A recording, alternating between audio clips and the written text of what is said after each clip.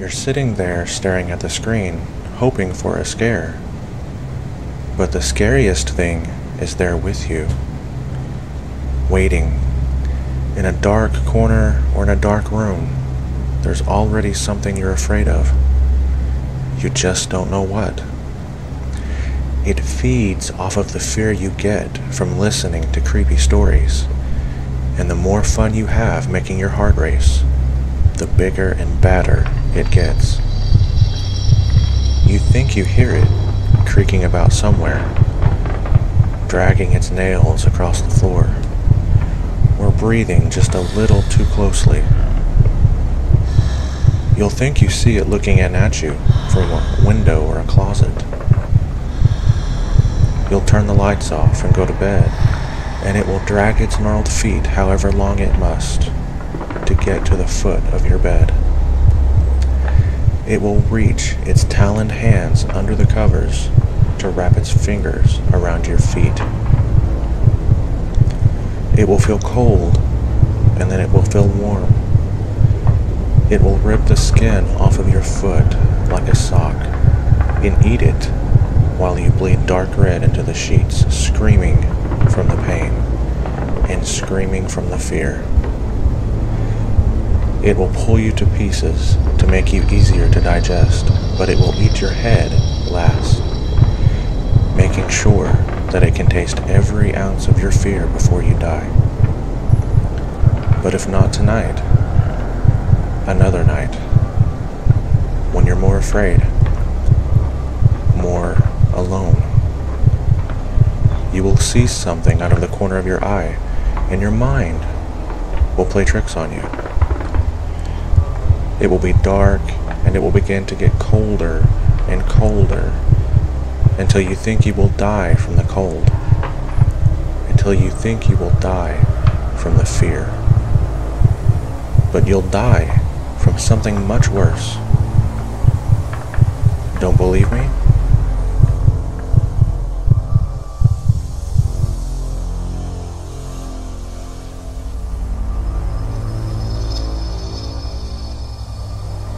I've been lying down for hours now.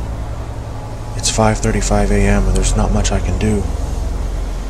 You know what the worst part about my situation is? I'm in the same room with my parents. They keep looking at me, and I can't help but look back and try not to cry or scream. Their eyes are focused on me and their mouths are wide open. There's a strong scent of blood, and I feel paralyzed with fear. Here's the thing the second I make any hint that I'm not asleep, I'm completely screwed. I will die, and there's nobody around to save me.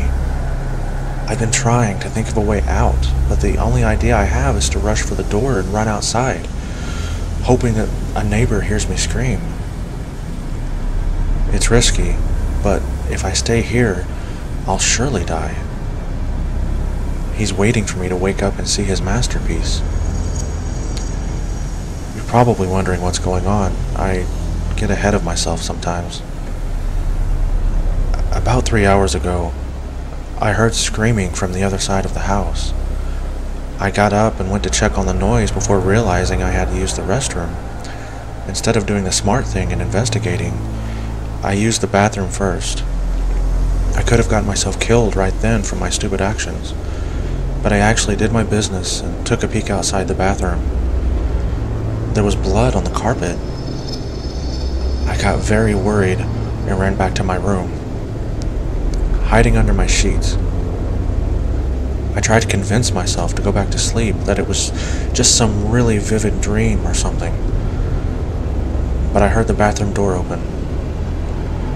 Like the terrified child I was, I peeked from under my blankets to see what was going on.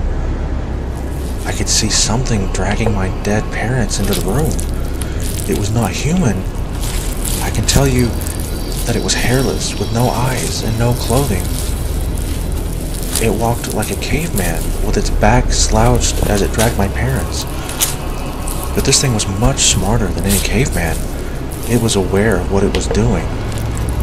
It propped my dad up on the edge of my bed and made him face me It then sat my mother down in the chair and positioned her towards me as well.